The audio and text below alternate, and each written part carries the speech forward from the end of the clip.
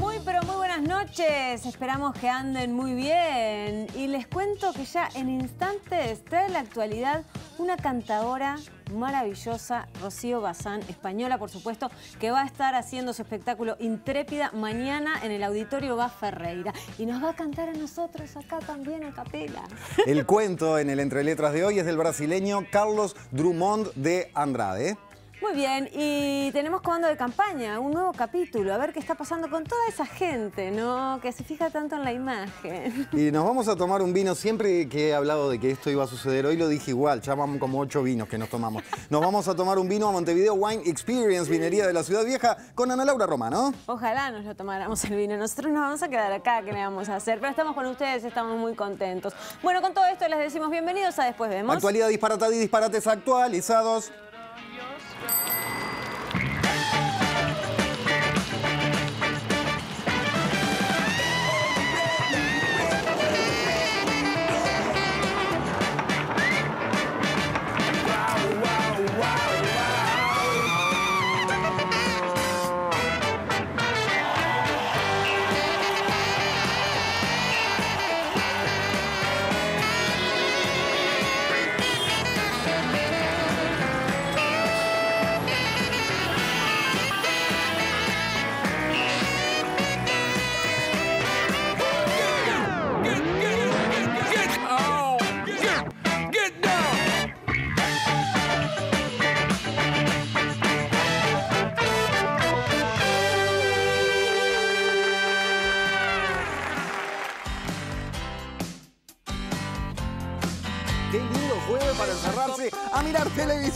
Familia.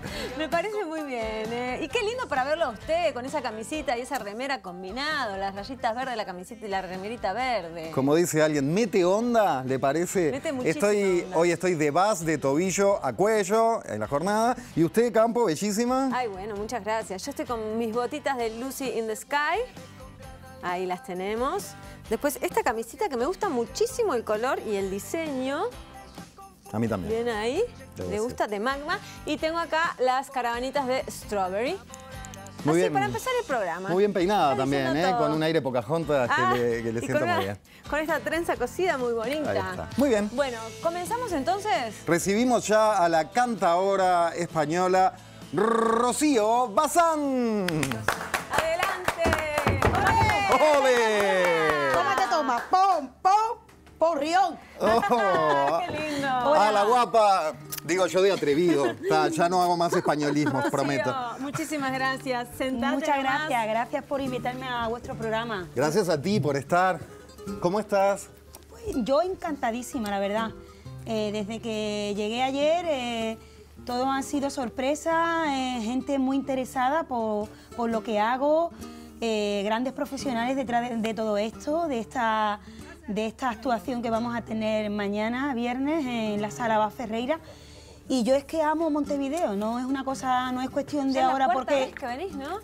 Efectivamente, no es porque haya llegado y ahora todo es bonito y todo es lindo, no. Es que ya, mm, ya mi experiencia por, por aquí ha sido eh, desde el año 2010 que vine por primera vez y hay algo que me mantiene muy conectada con esta tierra. Eh, parece que tuvo otra vida anterior y algo, algo pasó por aquí, ¿no? Ah, muy bien. creo, que puedes, que, creo que puede estar por ahí, ¿no? El tema. Y mañana se va a vivir una experiencia profunda flamenca con tu espectáculo Intrépida, como dijiste vos en el auditorio Va Ferreira, y vas a estar acompañado por músicos, músicos rioplatenses. Va a estar Rodrigo González en guitarra, de Sí. Argentina, eh, Joaquín Bertola en percusión, de Uruguay, Cecilia Sarasola en el baile, también uruguaya, y vamos a tener a Rocío Bazán ahí en el cante, En el liderando cante. ese espectáculo Intrépida. Sí, totalmente. Bueno, sin ellos no sería nada, sin todos estos nombres que habéis mencionado. Rodrigo González a la guitarra, Joaquín Bertola a la percusión y Cecilia Sarasola en, lo que es el baile, porque al final todo es un conjunto, ¿no? Y todo es un- una convivencia. El cante es verdad que parece que es la columna vertebral de todo esto, de lo que se refiere al arte flamenco, pero luego hay eh, el acompañamiento de la guitarra es fundamental en el cante. Si no hay un buen guitarrista a tu lado, el cante se puede disipar y quedarse en nada, ¿no? Es el guitarrista el que sí al canta. Eh, bueno, es, es algo mutuo, ¿no? Pero es verdad que el, el, guitarrista está ahí como un poco a la escucha pendiente del cante. ¿Qué ocurre para responder a tiempo? Y en el cante, eh, ¿qué tan importante es el ensayo? Porque en los distintos géneros hay eh, más o menos improvisación, repentización, o sea, lo que pasa en el momento. No sobreensayar para que no se seque o no se desgaste o no se embalsame algo. Eh, y parece muy espontáneo el cante, evidentemente hay ensayo detrás. ¿Cuánto? Bueno, sobre todo una conmigo misma, una consigo misma, mejor dicho, ¿no? tiene que estar... Mm, diariamente, ¿no? Porque al final esto es, es un, músculo y tiene que estar continuamente eh, entrenándose. ¿no? Si de repente también las cuerdas necesitan descanso, por supuesto, después de una función a lo mejor lo suyo es estar dos días por lo menos en stand-by, tranquilita, reposando.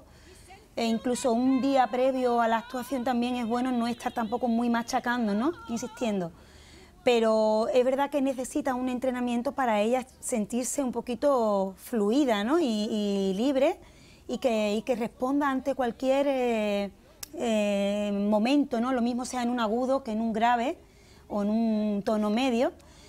Y, como volvíamos a, comentar, volvemos a comentar, el tema de la guitarra es fundamental que esté ahí muy pendiente ¿no? en, todo lo que procede al cante, porque hay cantes que tienen unos registros melódicos que lo mismo van de, algo muy, muy bajito, muy, muy sutil, a algo muy poderoso, ¿no? como puede ser el cante por petenera.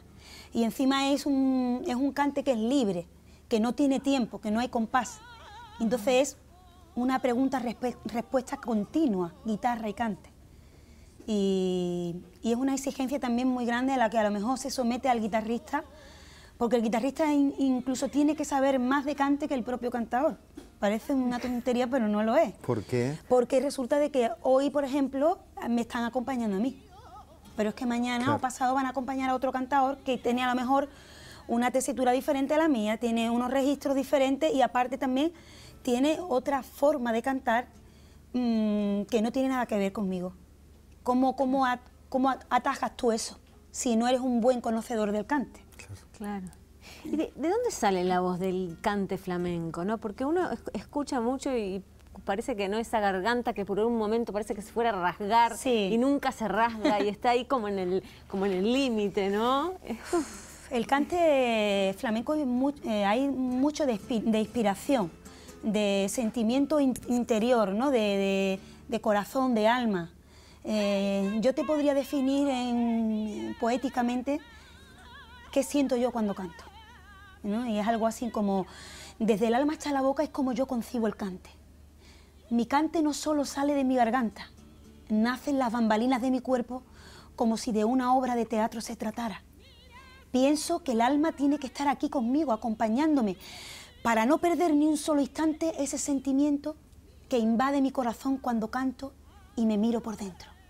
Es calor, pasión, angustia, dolor, pero también es suspiro lleno de alegría. Por eso cuando canto, mi cuerpo también lo hace. Salgo a escena y llega el momento inspira, llega el momento esperado, me encuentro con la inspiración. Ella me dice, cierra los ojos, déjate llevar y desnuda tu alma, ¿no? Entonces, el cante flamenco tiene algo, tiene algo que no lo tienen a lo mejor otro tipo de canto, otro tipo de música, otro tipo de género, porque es algo que va mucho con, con la pasión, con el, sentimiento profundo de la persona, eh, más allá de la técnica, que también eh, es interesante emplearla en algunos momentos, porque mm, si no sería un desgarro absoluto y, se perdería un poco el control de una misma.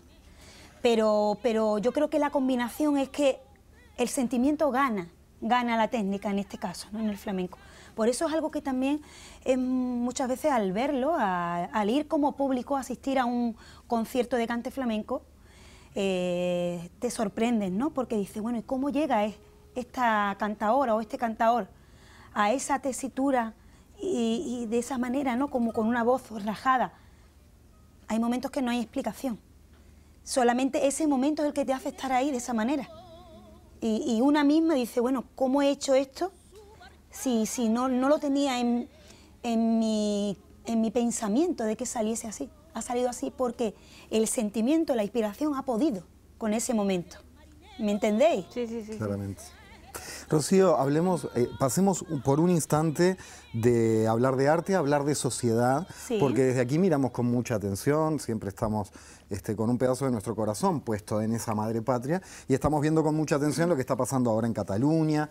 Y entonces, eh, ¿cómo es tu visión particular? Habrá tantas visiones como españoles, ¿no? Sí. Pero tú eres andaluza. ¿Cómo es tu visión particular de lo de Cataluña ahora, pero en general de los regionalismos y de, y de España como Estado? Esa relación, esas tensiones.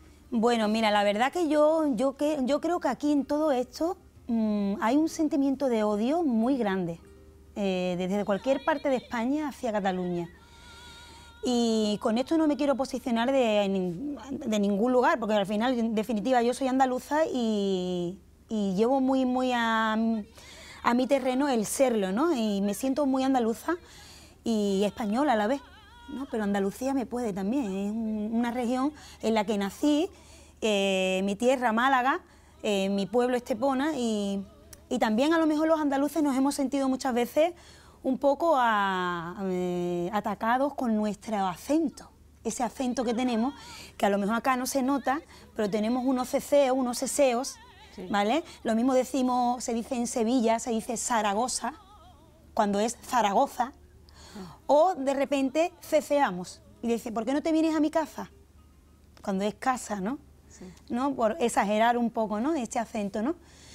Eh, y tenemos ahí un conflicto ¿no? con ese acento nuestro que, bueno, que parece que, somos mal hablados, que tenemos, eh, no, no estamos a la altura del castellano perfecto, ¿no? esto que se dice, ¿no? pero yo creo que no, no se dan cuenta de que todo esto es producto de, de nuestra cultura, de todo lo que pasó por Andalucía, porque es la región más rica en, lo que se, trata de, todo el paso de las civilizaciones que hubo, ¿no? Fijarse que estuvieron nada más y nada menos, aparte de todos los fenicios, tartesos, romanos, los griegos, eh, todo lo que pasó por allá, después tuvimos ocho siglos a los árabes, ¿no? Que estuvieron allí, bueno, viviendo y conviviendo con todo lo que había allí, hasta que fueron expulsados ¿no? por los reyes católicos. Y todo eso toda, toda, toda esa secuencia de, hablas se quedaron instauradas en nuestra forma. Entonces, respecto a lo que me pregunta Jorge, hacia Cataluña, yo creo que ya desde hace muchos años, eso de, hablar eh, hacia Cataluña con un poquito a lo mejor de rencor, no odio, pero rencor, porque, oye, como que parecía que ellos, ¿no? Como que siempre eh, son gente que luchan, ¿no? Salen a la calle y muchas veces de manera pacífica siempre lo han hecho, ¿no? Para pedir algo, ¿no? Para pedirle algo al gobierno, para pedirle algo, mejorías en, la, en, los servicios públicos, a lo mejor de, de, transporte, de muchas cosas, ¿no? Cosa que a lo mejor nosotros no hemos hecho, ¿no? En Andalucía a lo mejor no ha sido una tierra mucho de, levantarse porque hemos sido también muy, muy arremetidos, ¿no? Eh, nos han metido mucha caña en muchos momentos. Y se le cobra a Cataluña eso, decís, esa rebeldía. Sí, puede ser que, que miremos ya desde hace mucho tiempo. Ahora, ¿qué pasa? Que todo se ha magnificado mucho más desde que ese tema de la, de la, del independentismo, eh, la que se está formando ahora, pero no estamos mirando, por ejemplo, la, lo que hay formado en Madrid con relación a las pensiones de las personas mayores estamos desviando totalmente, los medios de comunicación están desviando totalmente la mirada hacia Cataluña y en Madrid está saliendo la gente a la calle a manifestarse por el tema de las pensiones, que es algo que es muy importante. Una persona mayor no puede estar pasando necesidad porque no le llegue la pensión a final de mes, ¿no? Para pagar luz y agua y comer y vivir, ¿no? Eh, en definitiva, me duele mucho lo que está pasando no me gustaría que hubiera confrontación con ninguna parte de, España y creo que, al final nos estamos olvidando que somos humanos, que es que somos humanos, somos iguales. Eh, esto de la frontera y marcar tanto ¿no? y condicionar tanto, no sé dónde vamos a llegar, pero nos estamos volviendo un poco locos. Te escucharíamos horas hablar de arte y de sociedad. Es hora de cerrar la charla y sabemos que eh, nos vas a cantar algo, generosamente. Máximo cuando decías no hay que cascotear la gola antes de una función, la función es mañana. Este, en el auditorio Vaz Ferreira del Sodre se presentará Rocío Bazán con su espectáculo Intrépida, todos invitados. Rocío, eh, un pedacito de qué? Bueno, pues mira, voy a hacer algo tan sencillo como cantaros una, cosita muy cortita y deciros, pues, mm, de dónde me viene el cante, ¿no? ¿no? Que es algo también, intrépida viene de ahí, ¿no? De mis ancestros por parte materna, desde mi bisabuelo, mi abuela, ¿no? Que cantaban también. Que cantaban mi mamá, mis tías, bueno, eh, tengo ahí un, una, una, familia en la cual yo me he nacido y me he criado en un ambiente totalmente flamenco, ¿no? Ay, desde que me parió mi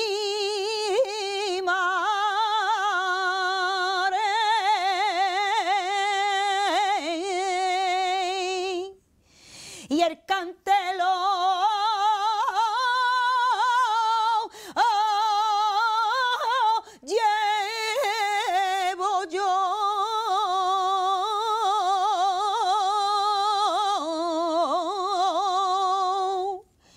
Mi abuela puso, mi abuela puso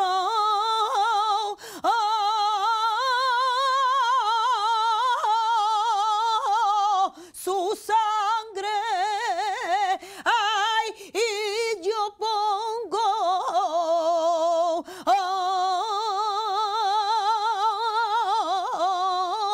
mi corazón.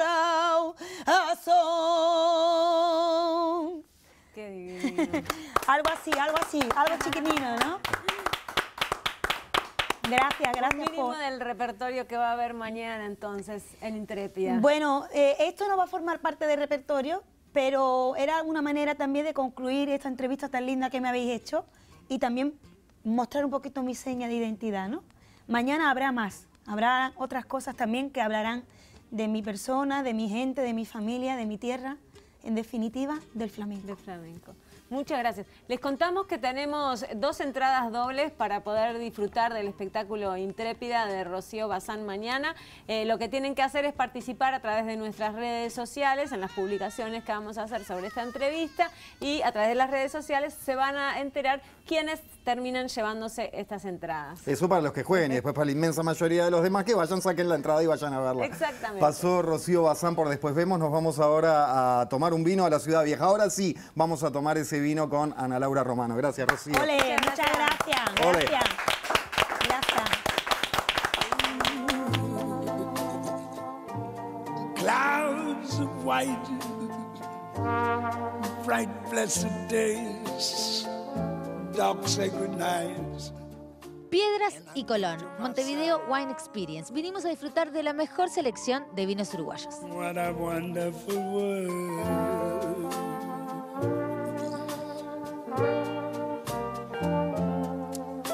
The colors of the rainbow, so pretty in the skies, also on the faces Nicolás Capellini, que es el dueño propietario de Montevideo Wine Experience, que bueno, quiero saber cómo surge la idea de crear un lugar que sea solo de vinos 100% uruguayos. Buenas noches. Bueno, eh, en realidad la, idea surgió con amigos, eh, porque en su momento cuando nosotros abrimos el bar no había una propuesta de, de vinos y menos de vinos uruguayos. En realidad acá se toman muchos vinos importados, Uruguay produce vinos de altísima calidad. Eh, lo bueno del mundo del vino es que hay muchísimas opciones, hay...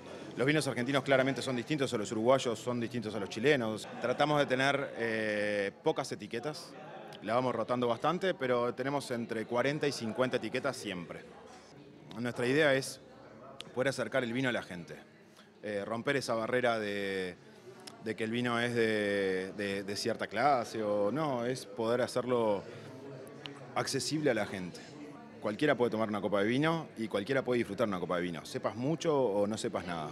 Vos me elegiste un vino así para la nota que yo no sé por qué elegiste ese vino. Este es un vino que hace bodega artesana, eh, que lo hacemos en conjunto y es un vino de, que es un corte de cuatro cosechas. Entonces es interesante, es un Tanat 100%, pero eh, es un corte de cuatro cosechas.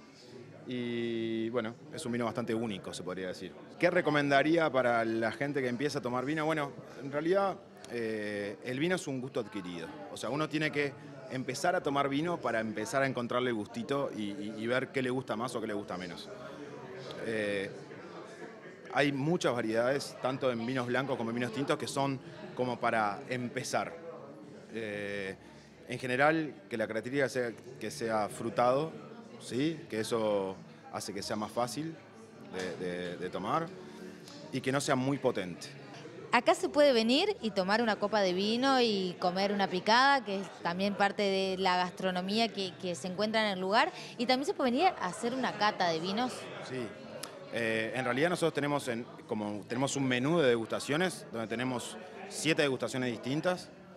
Eh, bueno, que la idea es justamente la gente que no conoce mucho de vino uruguayo, eh, ya sea público de acá o, extranjeros, que puedan tener un abanico de, de, posibilidades y vayan probando distintos, distintos tipos de vino. ¿Características del vino uruguayo? Bueno, eso es bastante personal. Eh, a mí lo que me gusta de los vinos uruguayos es, eh, en general, es la acidez. Es como si tuviera que destacar un punto de los vinos uruguayos de la acidez, y, porque lo que pasa es que hay mucha, mucha variedad de vinos. Eso podría ser algo que destaco de los vinos nacionales. ¿Qué es lo que, lo que ustedes este, ofrecen? Bueno, eh, picadas de quesos y fiambres. tratamos de trabajar nosotros todos vinos, productos uruguayos, y siempre muy enfocados en la calidad del producto en sí. O sea, por eso tenemos una selección tan corta de vino, se podría decir, porque estamos muy enfocados en la calidad y con la comida es lo mismo.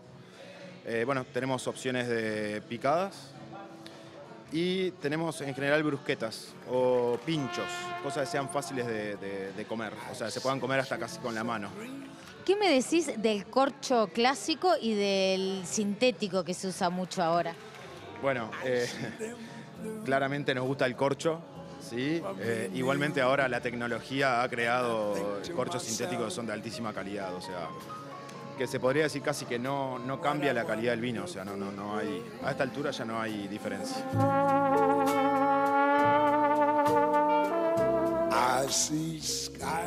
Y del vino nos metemos en el mundo de las letras. Un vinito para acompañar una buena lectura no está mal, ¿eh? Bueno, una persona con hábitos intelectuales o artísticos, una persona que disfruta la música, una persona que disfruta leer, nunca está sola. Ella tendrá siempre una compañía, la compañía inmensa de todos los artistas, de todos los escritores que ama a lo largo de los siglos. Esto lo dijo el escritor brasileño Carlos Drummond de Andrade en una entrevista, en la última entrevista que le hicieron dos semanas antes de que muriera en el año 1987 y Carlos Drummond de Andrade es el protagonista del Entre Letras de hoy. Él nació en el año 1902 en Itavira, ciudad del estado de Minas Gerais. Es considerado uno de los principales poetas brasileños del siglo XX. Él perteneció a la segunda generación del modernismo de ese país, con fíjense quiénes, ¿no? Vinicius y Moraes, Jorge de Lima y Murilo Méndez. Eh, este movimiento impulsó el uso del verso libre, también temáticas de la vida cotidiana y nacionalista y fue antiacademicista.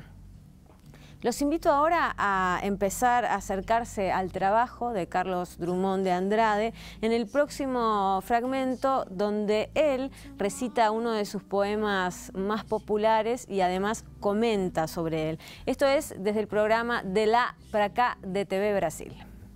Está o famoso poema No meio do caminho. No meio do caminho tinha uma pedra, tinha uma pedra no meio do caminho, tinha uma pedra no meio do caminho tinha uma pedra. Nunca me esquecerei desse acontecimento na vida de minhas retinas tão fatigadas. Nunca me esquecerei que no meio do caminho tinha uma pedra. Tinha uma pedra no meio do caminho. No meio do caminho tinha uma pedra. Este poema Pedra no Caminho, que ficou um tanto conhecido, realmente ele é, despertou uma, uma certa, um certo movimento, não digo de, de indignação, mas de irritação, porque ele era tão simples, era tão barato, por assim dizer, as palavras eram tão poucas, que as pessoas diziam, puxa, mas como é que isso pode ser um poema? Um poema tem que ser complicado, um poema tem que ter adjetivos brilhantes, tem que ter frases inteligentes, tem que ser notas eruditas. E o meu poema não tinha nada, mas exatamente a minha intenção era essa, era fazer um poema com o um mínimo de palavras, bem repetido, bem massacrante, bem chato. Drummond de Andrade terminó sus estudios secundarios en Bello Horizonte y ahí se mudó a Europreto, donde se recibió de farmacéutico obligado por su familia pero allí también comenzó su carrera como periodista y consiguió un empleo público. Eh, junto a un grupo de escritores fundó a Revista, que fue una publicación donde se formó, digamos, el núcleo de los modernistas de esta generación de modernistas eh, brasileños en Minas Gerais. A los 32 años se mudó a Río de Janeiro porque, fíjense ustedes, fue nombrado jefe de gabinete del Ministerio de Instrucción Pública y allí en Río de Janeiro vivió hasta su muerte. Eh, Drummond fue un enamorado eh, de las letras y de las palabras. Fíjense que antes de que él empezara, aprendiera, digamos, a leer y a escribir, él ya miraba libros y textos porque le fascinaban las palabras en un sentido estético digamos, ¿no? Eh, y apenas aprendió a leer, sí, empezó a devorar revistas y libros, aunque apenas entendiera, digamos, de lo que, de lo que se estaba tratando.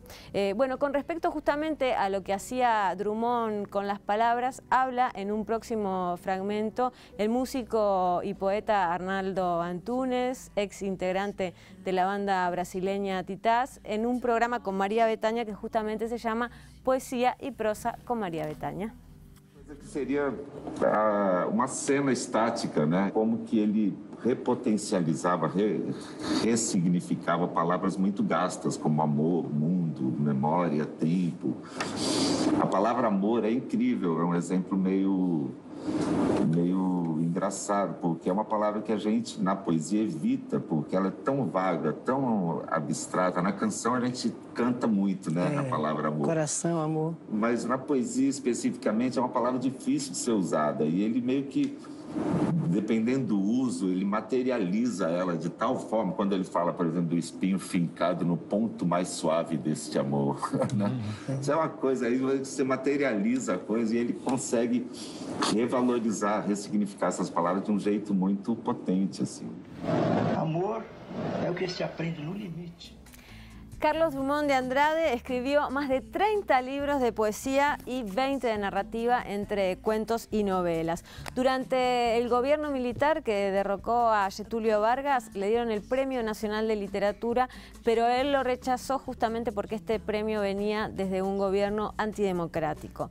Eh, Drummond de Andrade murió en el año 1987, en agosto, a los 85 años, y 12 días después de que su única hija, María Julia, eh, había muerto de, cáncer.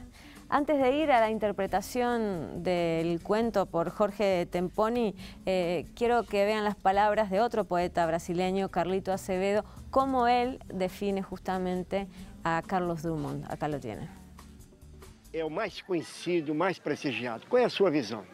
Eu acho que o Drummond é um poeta para todos os sentidos e todos os órgãos. Parece que cada poeta coloniza uma parte do corpo ou algum sentido nosso. O Drummond, sem dúvida, é para todos os sentidos. Eu acho que ele, mais ou menos, desenhou um pouco, talvez não o que o brasileiro era, mas o que o brasileiro passou a ser a partir do momento que ele inventou é esse personagem, né? Porque você vê, as pátrias, as nações têm uma ligação com seus poetas. É difícil você entender a Itália sem o Dante, Portugal sem Camões, Estados Unidos sem Walt Whitman e a França sem Baudelaire, porque estranhamente essas nações viraram aquilo que esses poetas sonharam que elas fossem. Então eu acho que o Drummond tem essa generosidade, amplitude, assim, de, de ser um poeta para todos os sentidos, né? Talvez nisso o Brasil tenha se reconhecido e se...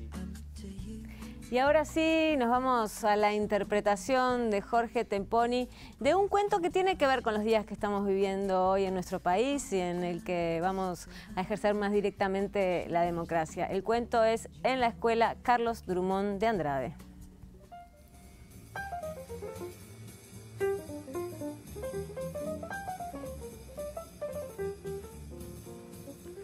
Es democrática, doña Amarilis maestra de una escuela pública situada en una calle que no voy a nombrar.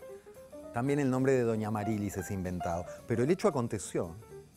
La maestra se dirigió a los alumnos al comienzo de la clase y dijo, hoy quiero que ustedes resuelvan algo muy importante, ¿puede ser? Sí, respondió la chiquilinada en coro. Muy bien, será una especie de plebiscito. La palabra es complicada, pero la cosa es simple. Cada uno da su opinión, sumamos y la mayoría decide cuando den su opinión no hablen todos a la vez, porque así va a ser muy difícil que yo sepa lo que cada uno piensa. ¿Está bien? Muy bien, respondió el coro, interesadísimo. Excelente. Entonces vamos al grano. Ha surgido un movimiento para que las maestras puedan usar pantalones en las escuelas. El gobierno ya dijo que lo permite, la directora también, pero yo personalmente no quiero decidir por mí misma. En el aula todo debe hacerse de acuerdo con los alumnos para que todos queden satisfechos y nadie pueda decir que no le gusta. Así no hay problemas. Bien, voy a empezar por Renato Carlos. Renato Carlos, ¿crees que tu maestra debe o no usar pantalón en la escuela? Creo que no debe, respondió bajando los ojos. ¿Por qué? Porque es mejor no usar pantalones. ¿Y por qué es mejor? Porque la minifalda es mucho más linda. Perfecto. Un voto en contra. Marilena, por favor, anota en tu cuaderno los votos en contra. Y tú, Leonardo, anota los votos a favor si los hay. Ahora va a responder Inesita. Claro que debe, señorita. Usted usa pantalones fuera de la escuela. ¿Por qué no los va a usar aquí dentro? Pero aquí es otro lugar. Es lo mismo. El otro día la vi en la calle con uno rojo que estaba bárbaro. Uno a favor. ¿Y tú, Aparecida? Puedo ser sincera, señorita. No puedes, tienes que ser sincera. Yo si fuese usted no usaría pantalones. ¿Por qué? Y por las caderas, ¿sabe? Como las tienen medio anchas. Muchas gracias, Aparecida. ¿Anotaste, Marilena? Mm. Ahora tú, Edmundo. Yo creo que Aparecida no tiene razón, señorita. Usted debe quedar fenómeno de pantalones. Sus caderas son muy lindas. no estamos votando a favor o en contra de mis caderas, sino de los pantalones. ¿Estás a favor o en contra? A favor, 100%. ¿Y tú, Peter? A mí me da lo mismo.